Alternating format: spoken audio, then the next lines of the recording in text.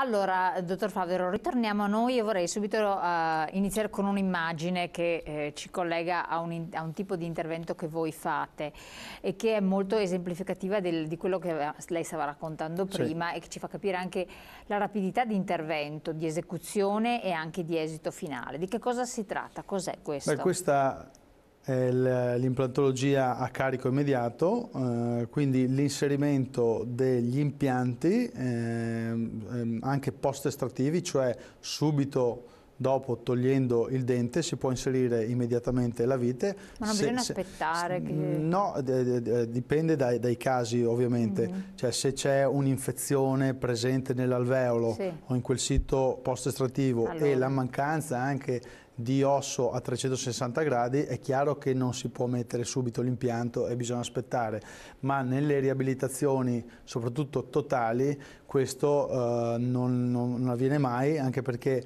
noi dopo che abbiamo tolto tutti i denti andiamo a pulire completamente l'osso spianandolo con delle frese o con uh, appunto delle curette o dei cucchiai eh, alveolari ehm, prepariamo il, il, il campo, quindi l'osso in maniera eh, eh, orizzontale, piatta e andiamo a, mettere, a, inserire gli impianti nelle zone dove appunto abbiamo tutto l'osso, non c'è l'infezione e possiamo caricarli immediatamente. Caricare l'impianto significa mettere subito la protesi, cioè i, i denti, vedendo. quello che stiamo vedendo là. Mm provvisori o anche definitivi, eh, in maniera ehm, eh, digitale o in maniera tradizionale, in maniera eh, chirurgica computer guidata, quindi preparando al computer eh, il, il, il piano di trattamento, come si fa?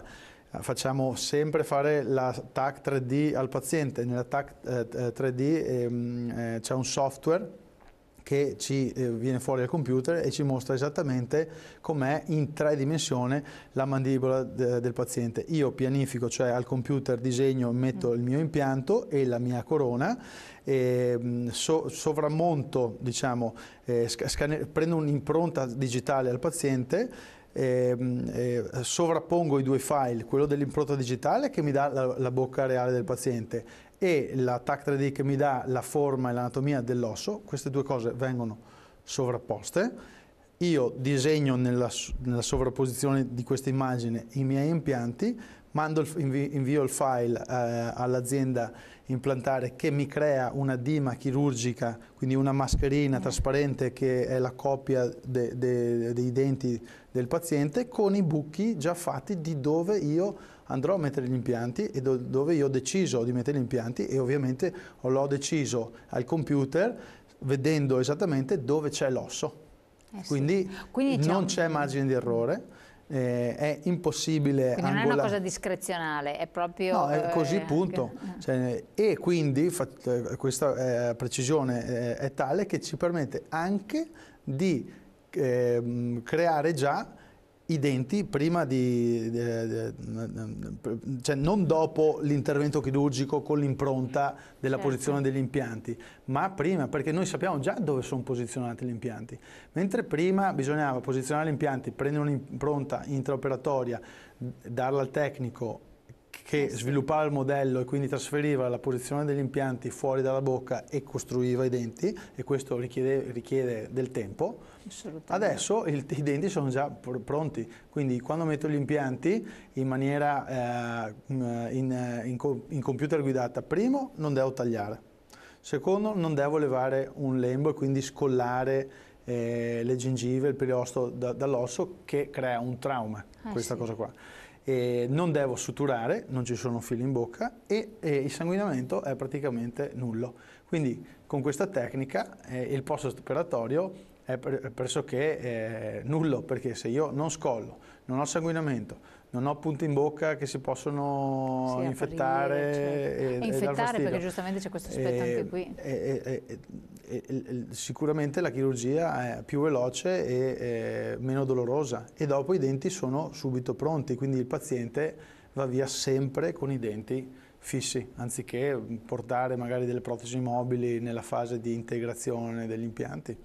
Poi ci sono dei motori oggi, eh, motori, cioè sono del, del, sempre del, delle, del, una tecnologia, cioè per inserire l'impianto io ho bisogno di un manipolo, inserisco nel manipolo la fresa, il manipolo? Ah. manipolo? è la turbina, sì, okay, sì. il contrangolo, quello che noi utilizziamo per curare la carie o per sì, mettere gli impianti, inserisco la fresa e questo manipolo è legato a un computerino con un motore eh. che lo fa girare. Oggi ci sono dei motori eh, che ci danno esattamente la densità ossea del, eh, del paziente. Quindi quando io faccio eh, il buco e inserisco l'impianto, eh, viene registrata la forza di inserzione di questo impianto e la densità ossea e quindi il motore ci dà esattamente la qualità dell'osso e ci dice la stabilità primaria dell'impianto che il, eh, ci garantisce la stabilità primaria, il successo e l'integrazione dell'impianto.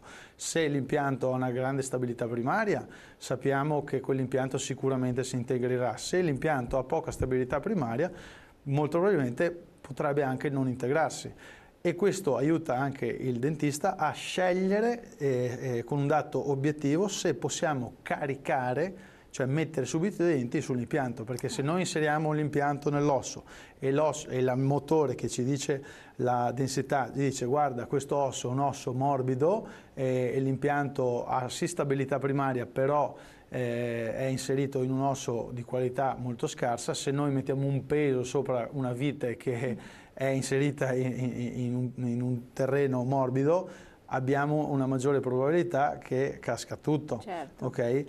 E prima senza questa macchina, queste, queste macchine noi eh, ci basavamo alla nostra esperienza, alla nostra sensibilità, però non era un dato obiettivo, adesso abbiamo un dato obiettivo e quindi quasi sempre possiamo dire sì, carichiamo e, e facciamo sogni tranquilli, noi, eh, noi, dentisti e voi pazienti, e, invece prima ci affidavamo diciamo, all'esperienza, alla, alla, alla competenza, alla, alla soggettività insomma, del, del della persona. Quindi eh, oggi la tecnologia ci permette veramente di essere molto più precisi, eh, più obiettivi, più sereni e anche chi non ha una grande esperienza, se è dotato di questi strumenti, eh, può fare delle cose incredibili. Lei diceva basta avere la buona volontà di La buona volontà di applicarsi, cioè, è un sacrificio un grande sacrificio per il, dentista eh, investire in questa tecnologia perché mm. Purtroppo costa ancora molti soldi, perché è costosissima però ancora, riduce sì. eh, il tempo alla poltrona e quindi permette al dentista di ridurre i costi per il paziente. Quindi per il paziente eh, è ottima perché... Quindi non è che costa di più perché no, magari persone dicono co, no, costa, costa di più al dentista, è l'investimento iniziale eh, sì. okay, che, che, che costa, però eh, viene ammortizzato più rapidamente perché il dentista lavora di più, ne fa di più in meno tempo. Quindi ah. è, è, è, là Quindi il, anche liste d'attesa, la famosa attesa del dentista per avere un intervento. Sì, vengono ridotte, esatto. Infatti, sì. E, però il dentista si deve applicare, deve dire ok, io uh, compro questa macchina che ha una curva di apprendimento e, e mi devo, devo perdere sei mesi, un anno, quello che è per imparare a usarla e, mettersi di volontà di, di, di, di cambiare il suo flusso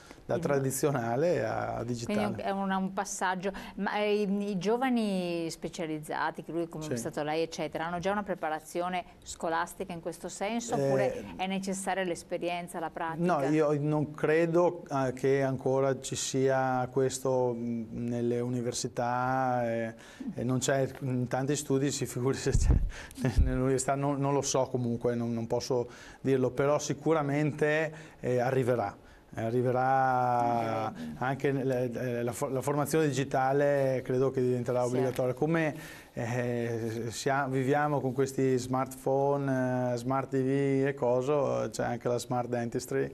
Dovrà e, essere e, e, se non ci eh, mettiamo nella predisposizione di imparare a utilizzare questa tecnologia non credo eh, che eh, dopo verremo scelti, insomma, perché se, se, il paziente può risparmiare, venire meno eh, e avere meno dolore, eh, credo che il paziente scelga quello. Insomma. Assolutamente. Allora dottore, un attimo solo che ci interrompiamo, abbiamo la pubblicità, poi ritorniamo, tiriamo un po' anche le file del discorso che abbiamo fatto.